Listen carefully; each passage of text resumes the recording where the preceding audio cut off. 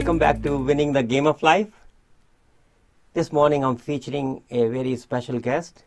This young man is known as Alex Berman. He is marketing sumo at Inspire Beats. He and his company have generated millions of dollars worth leads for like a SaaS startups or something like that. Let, let us welcome Alex and ask him what is what he's about. Welcome to the show, Alex. Hey, Shawn. Thanks for having me on. So how about you start with your background, then we will see what is marketing sumo at Inspire Beats. Sure. Uh, so I've been at Inspire Beats for about a year and a half. We do lead generation and outbound emails for software as a service. That's what SaaS stands for, software as a service companies. Um, I've been doing marketing since college, which I graduated in about 2012, and ever since then, um, I've been you know selling and hustling. Uh, I've sold over uh, $2 million in software stuff this year for mobile apps, um, a little bit more in lead generation, and generated over $20 million in leads this year. So Alex, would you like to explain me like why this cold calling you use, or I should say cold emailing, is not spamming?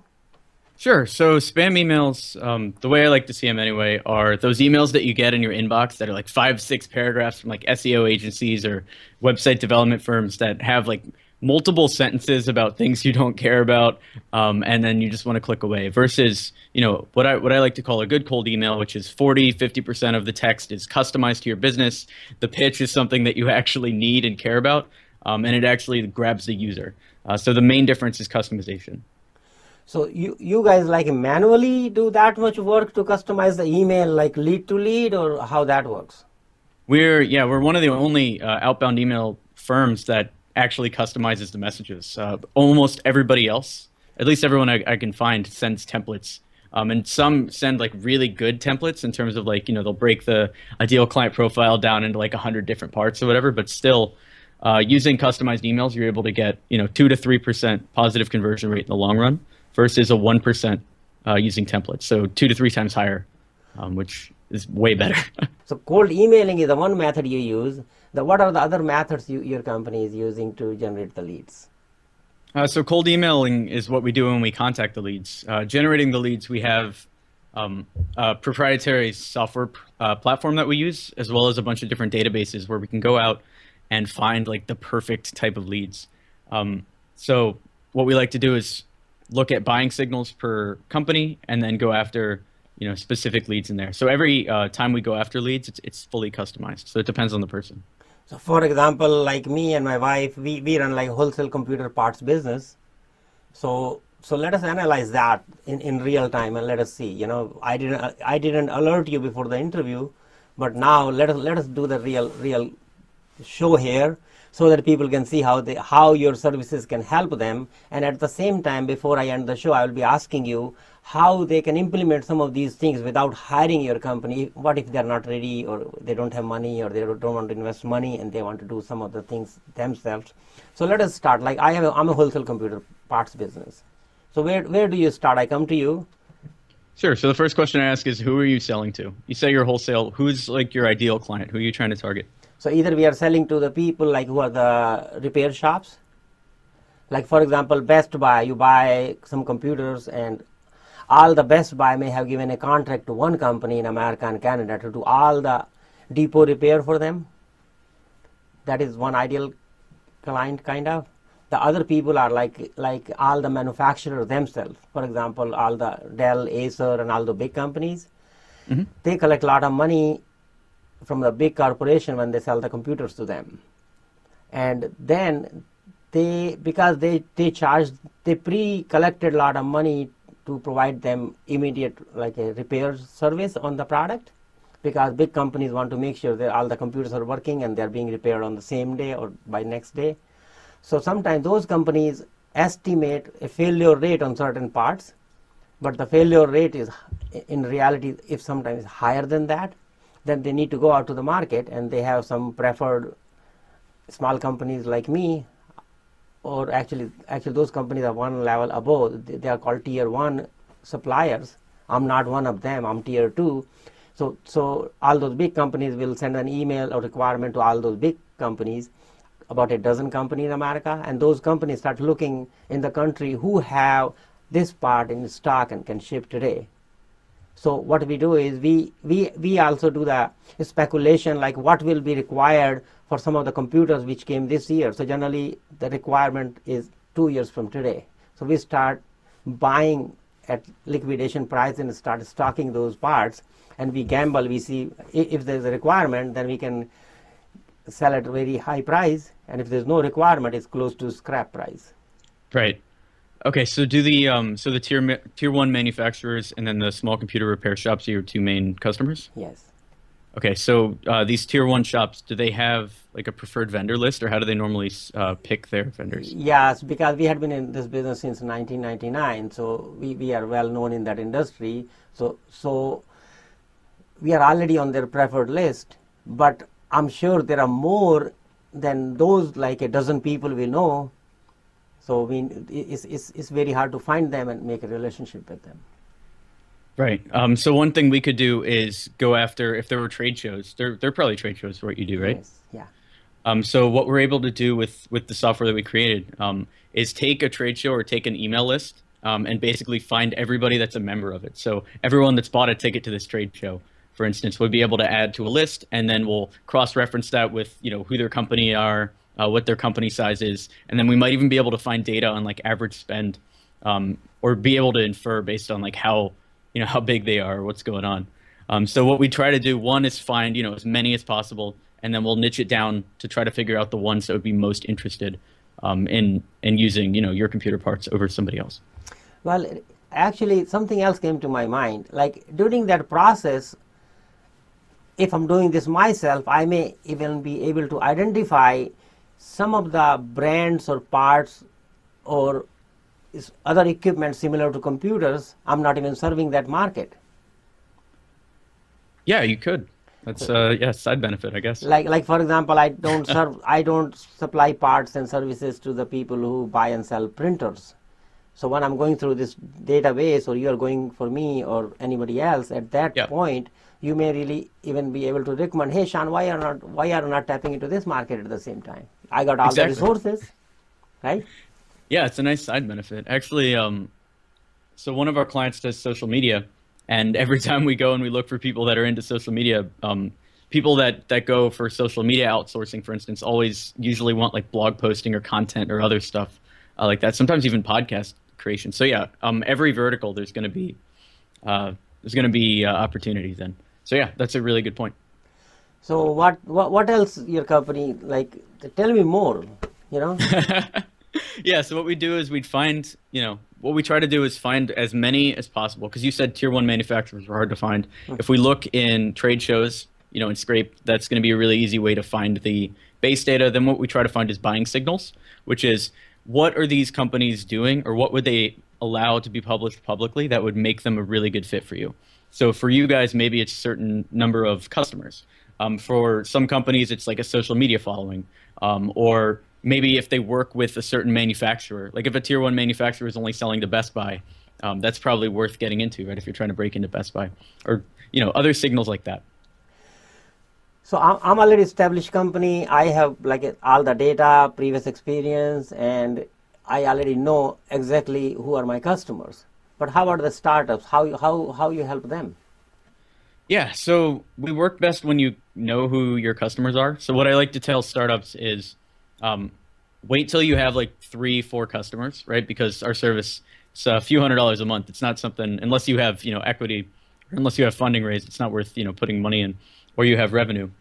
Um, so yeah, wait till you get three, four customers, and that way you know kind of who's accepting your offers, who's buying from you, um, and then we can scale up from there. So yeah, uh, once once you have a couple customers, you'll be able to easily identify what sort of companies are most likely to buy from you, who's the decision maker, um, and then the other factors as well. So it all kind of falls into place. Maybe you can ask them to tell the at least a dozen competitors they know.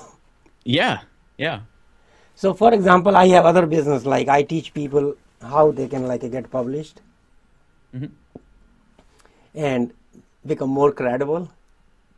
That way, they are seen as an authority in the industry. So, so I, I'm about to launch that business. So, in that, maybe you are my ideal customer. Okay, so for you, what I would do um, is go to Twitter um, and look at the ratios of follower to followee. Right, there are two ways you could approach it. If you wanted people that really have influence, you could find people in the business sector that have, let's say, over 10,000 followers and less than 500 followers, right? That's a nice ratio. You know that people are actually engaging with their tweets. However, if you were looking for people that want to invest in social media, you might be looking for people that have, let's say, like 30,000 followers and like 25,000 people that they're following. Um, because if they're investing in a service or they're spending the time to actually follow that many people, you know they're more likely to invest in building the personal brand. And also, they don't have the clout necessary to gain the 35,000 uh, 35, thousand followers on their own. So they're going to have to use you know tricks like what you're teaching in the book. Okay, so we are already halfway in the show. So one thing I'll be asking you, like, what what kind of prizes people have to pay you in the beginning to start? Is this a retainer service, a monthly service, or do you guarantee your services or something, or they have to risk all the money when they're hiring you? Yeah, it's monthly. Um, so what happens is we've got two packages that we start with. One's called the scale package. It's six ninety nine a month, um, where we basically reach out to two hundred people every month. Um, you know, with all the custom filtering and all that. Um, and for that, you expect about four to six, you know, appointments or signups with your sales team. Um, and then the larger package is called Rocket. Uh, that one's 700 people that we're reaching out to per month, and that's 17.99. And uh, how about like uh, in real time? Can you teach them, teach to my listeners and viewers something like if they can implement some of your strategies and see wow this is working for them and then actually they outsource to you kind of? Sure yeah. So if you do the first thing like um, that we were talking about which is you know how to identify buying signals if you're going after customers that want to buy from you um, you're you don't really have to worry about the, the content of the cold email. They'll basically respond. Um, but if you want i can go over uh, like the email script that we use or the email template that we use to uh, get people to respond to us. Yeah, please go ahead. Okay, so what we learned um, while we were sending, we sent over a million cold emails this year, and the main thing that we learned is subject line kind of matters, uh, but preview text, the content of the message matters a lot more than the subject line. So we tried testing things like attention and important to get people to open the emails, but what we found works better when you're going for your subject line is something custom to their business and something that uses their name. So for instance, uh, when I was selling out to a Ruby on Rails uh, shop the subject line I used was built a tool that auto finds Ruby on Rails projects. Is that something you're interested in, Mark? You know, for you, it's, um, you know, we have, you know, what XYZ part at, you know, XYZ price, if it's a price sort of thing, or we have XYZ part in stock. Uh, is that something you'd be interested in, Mark? That sort of thing. Something that, that they're going to be looking for that's going to get them to open the email is going to be uh, key here. Um, then you jump into the actual message itself. So like, hey, Mark, um, and then what I like to do, and what we do as a team, is something very personal to their business. So for you, it would be like, "Hey, Mark, I was browsing your computer repair shop site. Looks like you have a wide range of product offerings. Um, really impressed with the testimonial on your site from you know Mary or whatever. Like if they have customer testimonials. So call out something super specific that you wouldn't be able to send to a million other people, and that'll get them to keep reaching or keep uh, reading. Then you pitch yourself. So you know, my name is my name is Shawn. I've been supplying uh, wholesale computer repair for the last you know 20 years or whatever it is. Um, recently, we just got XYZ parts in stock, and I realized there might be a shortage on them, so I wanted to you know pitch those over to you or show you that we have them in stock. Is that something you'd be interested in? Um, if so, would love to hop on the phone and, and chat really quick. Thanks, Shawn. Okay, it's almost like somebody listening to you today and want to be guest on my show should be writing me an email. Hey, Shawn, I was listening to Alex Berman and it was so exciting. He had high energy and it was very inspirational. By the way, this is what I do. Interested? Yeah, exactly. And since he called me out, you know, that means that he had listened to the episode, so he cares. And yeah, if you call out something on their website, um, it's going to get them to pay attention. And then the last thing I do at the very end is I do a PS. Uh, so like PS, and then I call out something from their social media. So like, P.S. Saw you're into craft beer. Uh, drink any good ones recently? Or like, P.S. Saw your dog on Instagram. Uh, you know, and if I, I, don't know anything about dogs, but like, is that a pug? Or like, whatever. Like, you call out something that you're interested in that, and they're interested in that you find on their social media. Because you really want them to read it and take action. That's the goal, yeah. Um, read it, take action, and then see you as a person worth uh, responding to. Um, and if you use that framework what will happen and, and what's happened to me a lot is people even if they're not interested will respond back and be like hey that was an awesome email. Not interested at this time but it sounds like a great concept. Like they'll they'll they'll still encourage you even if they're not um, interested which is good if if you're a solopreneur or a company that's jump jumping into outbound um, because it'll keep you going. Yeah because your ps is touching them uh, at emotional level and tony robinson says you act just you do everything based upon your emotions so you guys are psychologists, you know. You guys are, you guys are. I cannot use the word torture, but I you I don't know what is the negative of that. Like you're inspiring people to just take action no matter what. They must reply or they must communicate, and maybe a lot of people, a lot of those cold emails may generate friendship and relationships. I think. Yeah, and they already have. Um, I'm friends with a bunch of our clients, um, but it, it also hits another psychological principle, which is the fact that they need something like you, right? If you're doing lead generation for you, for instance, if they need these computer parts and you're providing them with the parts that they need, they want to buy from you. You're just giving them more and more reasons to do it. You guys are very smart. You're so young to be that smart. I I mean, tell me this. Like, let us switch this. Like, a lot of listeners and viewers, they are maybe maybe at least half of those are in business or solopreneur or about to start business, but there, there may be some on the borderline, they have not started a business like that. Do you have any special recommendations for them where they should start? Yeah, um, if you don't have a business and you don't really have a business idea, I would start uh, on job boards, right? Look for companies that are hiring for some sort of thing and then start a services based company. For instance, let's say you have like a background in design. Um, you can go on AngelList and look for startups that are hiring designers um, and then instead of pitching, you know, like a normal job search process where you're going for full time work, uh, just pitch as a freelancer, and then try to take on as many clients as possible, and just grow from there. That that's a good approach, you know. Like that way, you are just working with all those people you want to work, and you're still working what you want to work, and you are still kind of fulfilling their job without getting hired.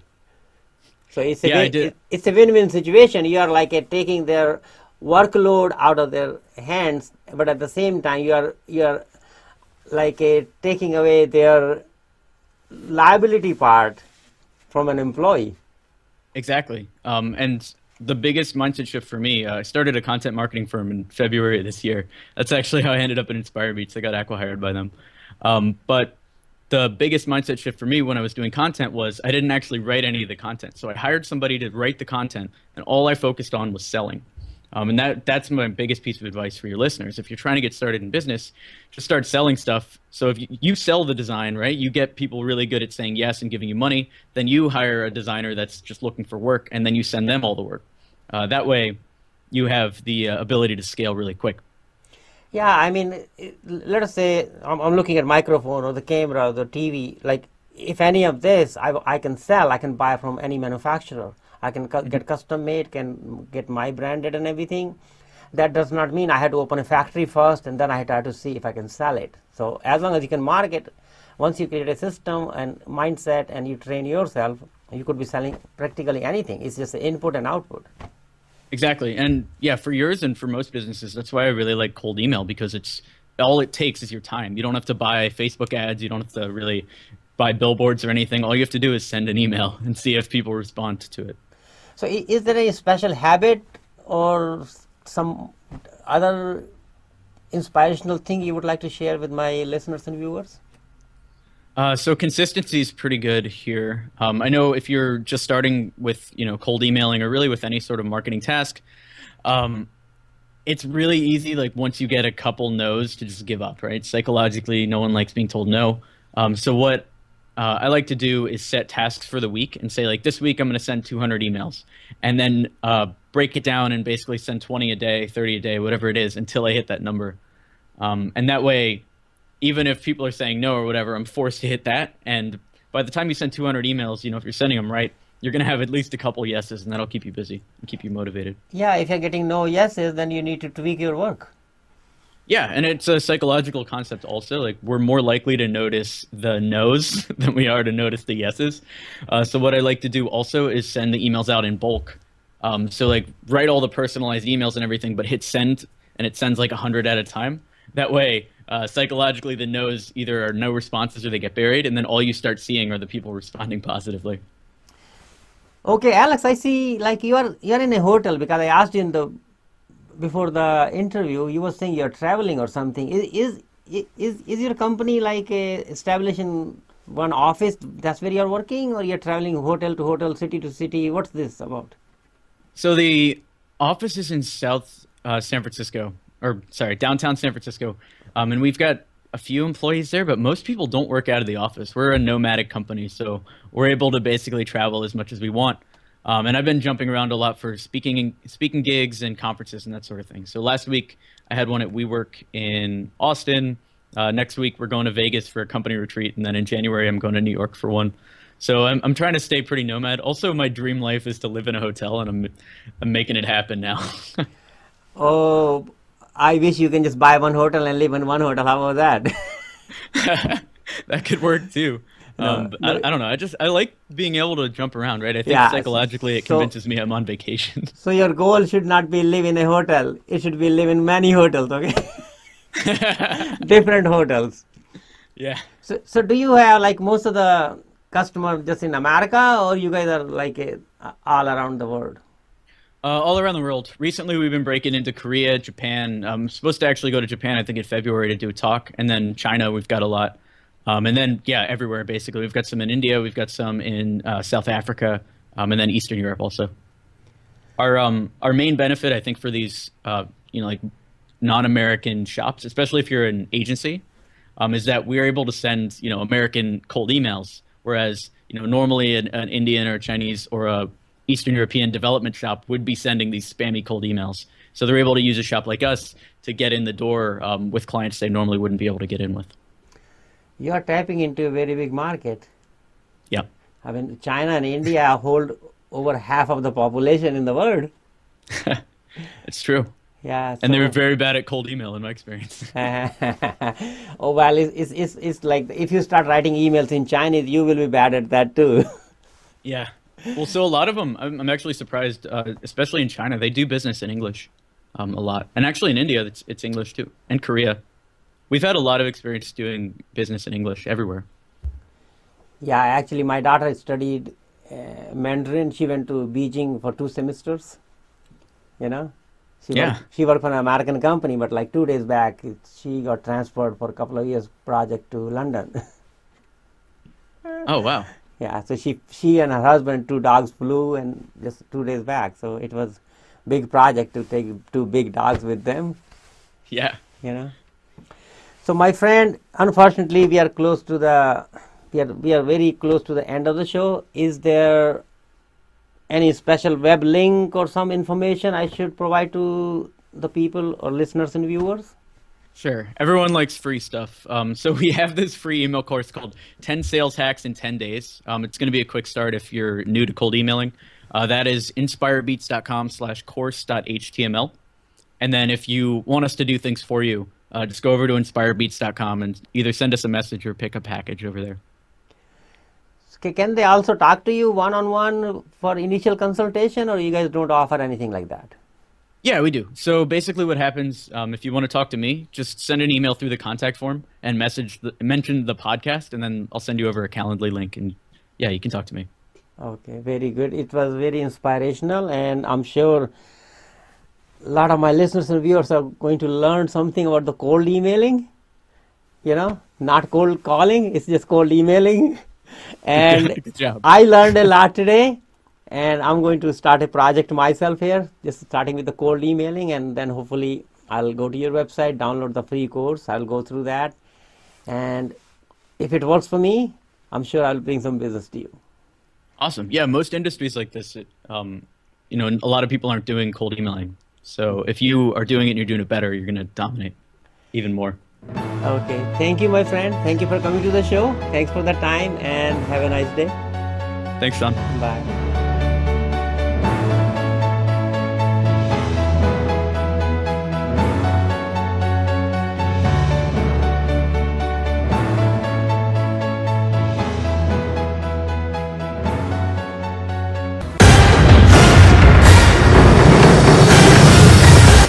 LaptopUniverse.com CEO Indu Chhabra announced the launch of BuybackQueen.com. This newly launched reverse e-commerce website buys back used old electronics, old iPhones, iPads, and all other smart devices directly from the consumers. You should not throw your old phone away because your trash may be hitting gold. Buyback Queen wants your old device and will pay top dollars for it. The process is as easy as one, two, three. Fast payments, free shipping, free data wipe, risk-free transaction. Let us make the world a cleaner place and make money by selling our device on buybackqueen.com.